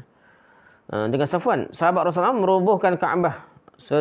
Serta melakukan banyak pembunuhan. Uh, Syiah ni kalau boleh Mekah dia akan roboh Kaabah dah. dan dia akan melakukan banyak pembunuhan. Syiah mengaku dah Imam Imam Mahdi dia tak akan buat pembunuhan yang besar-besar. Kalau tak ada Imam Mahdi, Uh, waliatul faqih dia, email, email kepimpinan ulama dia akan ganti Imam Mahdi dia tu untuk bunuh ramai orang Islam dia. Ataupun penghapusan etnik Arab. Dia bukan balas saja dengan orang Islam, dia balas dengan Arab. Dia bukan Arab. Yang anggap Iran ni Parsi. Uh, bangsa Parsi bukan bangsa Arab. Jadi balas. Syiah ni balas dengan bangsa Arab. Bahkan juga melayani orang ahli sunnah dengan seburuk-buruk layanan. Ha, itu cara uh, akidah roja'ah dia lah. Imam Mahdi dia tu tu gitu. Imam Mahdi Muntazar dia. Memang dia ahli sunnah ni lain pula keadilan, keamanan. Dia dok Imam Mahdi Syiah tunggu nak bunuh orang. Tunggu tunggu lama, tunggu lama. Imam Mahdi mari nak sembelih Tu akidah Syiah lah. Yang keempat, musuh-musuh Islam pada zaman moden ini dengan bersenjata ke ajaran Syiah ataupun Khomainisme sebenarnya mahu melihat kembali kejayaan yang pernah dicapai oleh nenek moyang mereka. Pada permulaan sejarah Islam melalui slogan-slogan cinta ke Adul Bait. Slogan itu sememangnya cukup lunak sehingga begitu ramai yang terpengaruh dengannya. Jadi musuh Islam zaman moden ni. Ada yang guna syiah. Bahkan orang putih sebenarnya siapa? Perancis siapa? Uh, Khomeini dia. Jatuhkan Syah Pahlavi dia. Dia siapa juga. Temu siapa dia. Putih tidak dia mahu siapa naik. Apa kata siapa kau syiah ni. Nak lawan dia. Cuma dia subuh, subuh buat kacau bila dah supaya berlaku kacau bilau di negara Timur Tengah supaya tidak berkuasa. Kita ni pelaga ke kita duk relax gitulah. Kita jadi amil apabila orang lain balah sama-sama dia. ha, dah, jadi sama-sama Islam ni balah. Dia cocok sikit. Beli senjata kau ini sikit. Ha, jadi dia jadi tak sempat balas dia. Tu harapan musuh-musuh Islam lah. Tu cara politik moden perang ni lah. Ha, dah. Ha, ngaku Islam pun. Musuh Islam di segi secara tersirat ni mengaku Islam. Dia membenci Islam. Cara guna konsep cinta Ahlul Baik lah. Kalau pada permulaan Islam ketika mana masih ramai lagi para sahabat Rasulullah SAW yang mendapat pendidikan secara langsung daripada baginda SAW. Da'ayah ini sudah mencetuskan satu fitnah yang besar yang memperandakan umat Islam hingga terbunuhnya syahid Sayyidina Uthman bin Affan radhiyallahu anhu. Kritik Uthman angkat Ali ni. Betul uh, Syiah maksudnya Syiah Ali penyokong Ali ia telah menyebabkan fitnah yang besar. Itu zaman sahabat lagi. Zaman orang Juh lagi. Maka tentu sekali lah mengikut perkiraan mereka dalam keadaan umat Islam yang lupa akan sejarah Islam. Mereka dah sebahagian besar daripada sejarah Islam itu sudah diselewengkan. Umat ini boleh diperandakan dengan senjata yang sama. Dah. Guna keadaan yang sama macam berlaku syiah dan khawarij yang sama. Ya. Golongan-golongan yang memberontak ni, dia telah menonggan nama Ahlul Baik keluarga Nabi. Ha, kena berhati-hati ni. Hak syiah tu syasakar. Hak ngaku sufi pun kuat juga menonggang ahlul baik keluarga Nabi dah. Ha, sebenarnya Habib ni, Habib, Habib Umar, Habib Gapa tu masalah juga sanat nasab je dah. Ada kritik orang tak tu boleh dia terima. Dia kata, lah ni uh, keluarga Habib ni 41, 39, 40, 41, 42 gitu lah. 39, 38 gitu lah. Jadi pelik dia kata, sedekah orang lain, nasab orang lain, orang yang tulis nasab ni, bahagian nasab ni lah. 57 dan ke atas. 57 dah. 1400 tahun ni 57. Dah. Tikah 20-30 tahun antara ayah dengan anak ni dah biasa. Lama. Tiba-tiba ada tikah ni sana apa senasab Habib ni 60 tahun lebih. Lebih 60 tahun pun ada dah. Ayah tok jadi tok pun boleh anak ni baru boleh anak. Nak kata mustahil, tidak mustahil tapi 60 lebih ada anak pun ada dah. Tapi banyak sangat ni pelik lah. Pelik lah dia banyak ni. Lepas tu, uh, dah. Uh, pelik. Kita timbul pelik lah. Nak puluh ke atas baru boleh anak ni. Lepas tu jarak so-so-so jauh-jauh. Sehingga menyebabkan nasak-nasak dia jadi 41 baru. 40, 39, 38 pada. Dah. 37 ada. Jadi, eh, pelik kita ni nak. Orang lain 57, dia 38, 37, 40. Jadi, eh, kita rasa pelik lah. Nah, rasa pelik. Benda tu, Biasa dah. Ha, jadi orang menunggan atas nama keluarga Nabi ni. Sayyid lah, Habib lah apa. Pun jadi fitnah dah. Hmm. Okey. Uh, yang kelima dia, penonjolan syiah sebagai alternatif bertujuan ke umat Islam secara besar-besaran ataupun menjadikan mereka zindik. Nah, orang putih kapir ni, orientalisme dia tu. Kajian timur dia tu, dia dia tahu benda ni dah. Syiah sunnah ni tahu supaya pecah belah umat Islam dia kuatkan syiah sikit lah gitu lah dia bukan untuk kuat benar siapa syiah naik pala tidak tapi dia tetap kuatkan syiah sehingga berlaku pertembungan dah antara sunni syiah barulah uh, kuat kuat lah dia kuat kuat dia kuatnya dah uh, itu golongan yang merasakan mereka benar-benar beragama dah mereka zindik kafir benar dah tapi rasa dia dia lah benar-benar beragama dah Padahal sebenarnya mereka menyimpan jauh daripada landasan agama ikut syiah. Agak sesak barat lah. Yang keenam, kebangkitan syiah dalam bentuk sebuah-sebuah negara adalah sesuatu yang direncanakan oleh musuh-musuh Islam. Apabila mereka menyedari sudah lahir sebilangan besar umat Islam yang tidak dapat disisihkan daripada landasan menuju ke arah Islam. Yang menyuruh dengan menyebarluaskan mereka, antara mereka bahan-bahan hiburan dan gaya hidup berfoya-foya. Jadi ada dua cara. Pertama, orang yang nampak jauh ni suruh ikut ajaran sesat, syiah ke apalah. Ha, untuk sisih daripada ajaran Islam sebenar. So, lagi cara, cara barat lah. Kau beli, kau gapo, kau beli Elish ke gapo dah. Hiburan kita, TV kita penuh ni. Nanti ke, apa kau beli dah penuh. Bila kita tengok video, tertengok. Tak saya tertengok lah. Saya tak, tak buka TV mana. Rumah saya ke rumah orang lain ke apa, tak buka TV lah. Dia mau buka TV. Kadang kita tengok, Allah lah kata lah. Kita rasa lakonan orang Melayu yang ngaku Islam ni berat lagi daripada Coldplay tu tau. Allah dengan Oteno negara pun kata kata hmm, berat lah. Ha, dah. Ya, dah berat. Masalah situ lah. Masalah budaya tak nanti kau muzik ke apa. Lah kau ni TV saja pun karut dah. Tak nanti kau konsert dah. Ha, ni konsert mai tempat super ya. Konsert mana-mana pun berat belakang dah kalau kira. Selain daripada cara orang jeruh tak lebar tak guruh ni sesatkan dengan ajaran sesak ni. Dengan syiah, dengan sufi melampau ke apa dia. Cara hak ngarut hak ikut nafsu ni, cara dengan berpoi-poi dia, dengan konsert dia dah. Hanya tiga satu saja cara dapat memusnahkan golongan ini, itu dengan bertaufikkan nifak dah. Ha, dah. Melakon lah, nifak. Kejayaan mereka kerana menggunakan cara ini sungguh memuaskan hati mereka. Bukan sahaja orang jahil dan fasik dapat dipersongkan, tetapi juga orang benar-benar bersemangat agama atau orang-orang sekian lama yang patut agama pun boleh sesak dengan satu sentikan ajaran sesak syiah dia. Yang ketujuh, kebangkitan sebuah negara atas nama Islam. Ah, nah, ni yang berteraskan walatul faqih kepimpinan ulama ni dan ajaran syiah. Secara keseluruhannya adalah sesuatu yang dirancangkan, dirancangkan oleh musuh-musuh Islam sebenarnya. Dia rancang lama dah. Kita je tak sedar dah. Ha. Macam itu kak. Apa? uh, Ismail Sabri tu Ismail Godok deh ataupun Sabri Yunus lah deh uh, dia berlaku dia nikah dengan apa? Elizabeth Elizabeth tu jadi ceritanya uh, dia rancang soalan rancang lama uh, begitu juga ni Syiah ni uh, musuh Islam ni dia rancang dah lama dah dia pisah. Soal mesti ada negara yang boleh uh, memperandakan umat Islam itu mewujudkan negara Syiah. Lama dia rancang dah Hal ini bagi mengalihkan pandangan umat Islam daripada metod dan matlamat perjuangan mereka yang sebenarnya. Mereka ingin umat Islam menjadikan negara Watul Faqih. Sebagai contoh sebuah negara Islam yang kononnya berpandukan Al-Quran dan Sunnah. Kononnya. Nah. Bila umat Islam menjadikan negara Syiah sebagai contoh, sebagai model, sebagai ikutan, sebagai panduan. Sudah tentu mereka yang umat Islam akan bertanya-tanya dan seterusnya mengamalkan segala apa yang menjadi unsur-unsur kepada kejayaan negara yang menjadi contoh itu.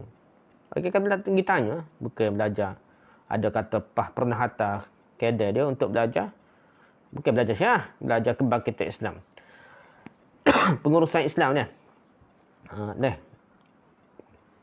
gerakan Islam belajar gerakan Islam ni banyak kau kita bawa dalam usrah kita gawalah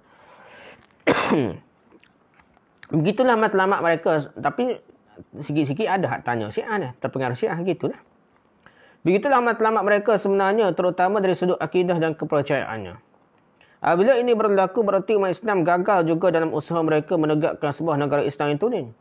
Nah, kafir tahu dah. Biar ikut syiah ni. Ya kacau bila ni.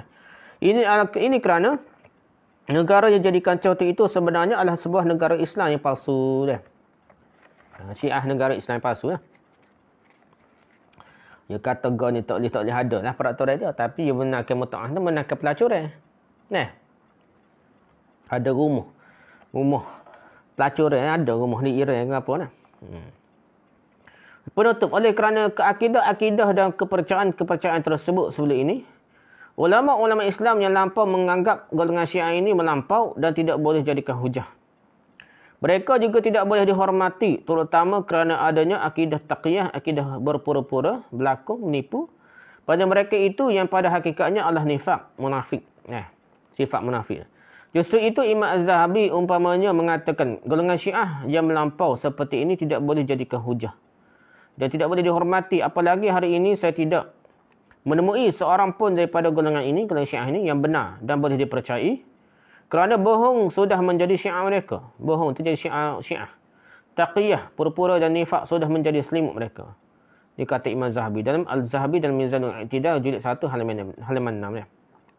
Jadi syiah peringkat awal syiah peringkat kemudiannya lagi berat. Semakin lama syiahnya semakin berat. Itu kena faham keadanya.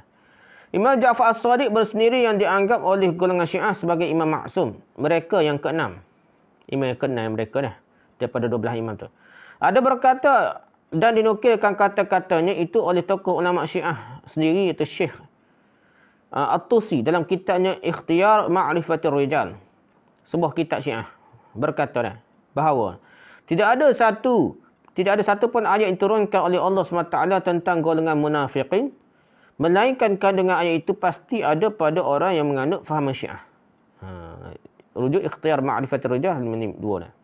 Jadi semua cerita pasal munafik ni ayat Quran cerita tentang munafik semua tu kena kena betul atas uh, syiah. Faham syiah ni.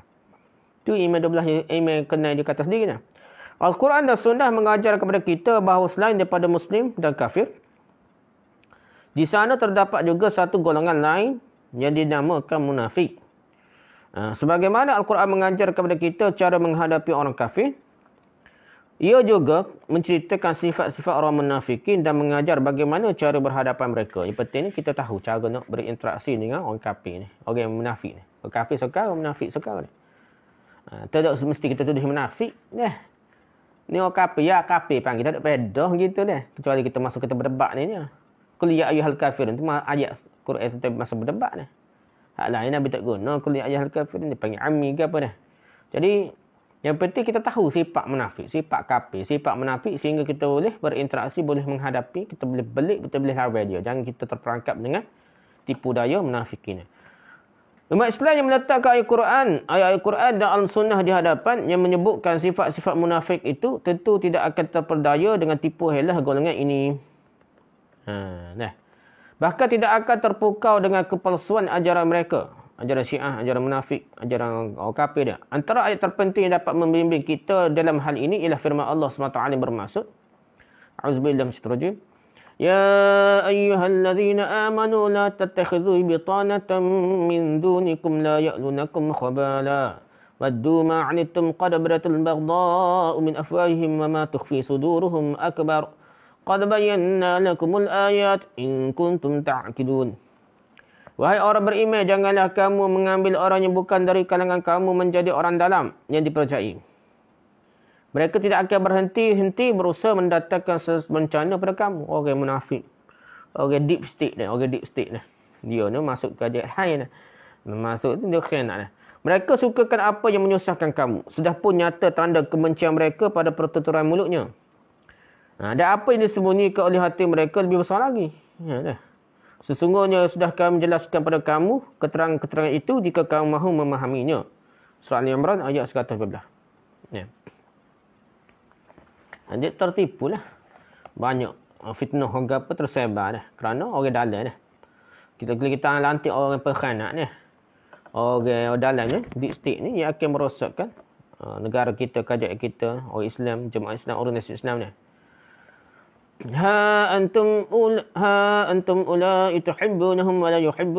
wa tu'minuna bi wa tu'minuna bil kitabi kullihi wa idza laqukum qalu amanna wa idza khalu 'addu 'alaykum al anamil min al ghayz.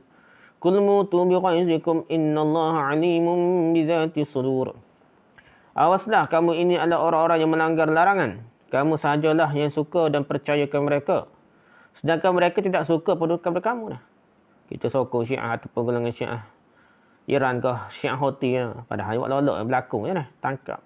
Kamu juga beriman pada segala kitab Allah sedangkan mereka tidaklah beriman kepada Al-Quran. Dan mereka apabila mereka bertemu dengan kamu mereka berkata kami beriman juga dah. Tetapi apabila mereka berkumpul sama sendiri mereka menggigit, menggigit hujung jari kerana geram marah kepada kamu ni. Katakanlah wahai Muhammad matilah kamu dengan kemarahan kamu itu. Sesungguhnya Allah sentiasa mengetahui akan segala isi hati yang ada dalam dada. Surah Ali Imran ayat 119. Hmm, tak adalah setakat itulah perbincangan uh, yang panjang juga lah kita bihan ni iaitu uh, Khomeinisme, Khomeini dan akidah Syiah satu kebangkitan yang palsu. Kita berhati-hati dengan kebangkitan atas jenama Islam padahal ada akidah Syiah. Nah, begitu juga hak bunyi hak lain pun dah. Bunyi Islam tapi sebenarnya ajak kepada perkaum perkaum yang apa? Kepuakan jugalah. Ha, nah. Syiah tu bagi dia Gan dia lah. Uh, Beli mesdih ni tak apa Orang lain tak boleh nak. Gitu cerita lah uh, Kita kena berhati-hati. Wallahu'alam Subhanakallah bihamdika subhanakallah bihamdika subhanakallah bihamdika asyhadu an la ilaha illa anta astaghfiruka wa atubu ilaik. Assalamualaikum warahmatullahi wabarakatuh.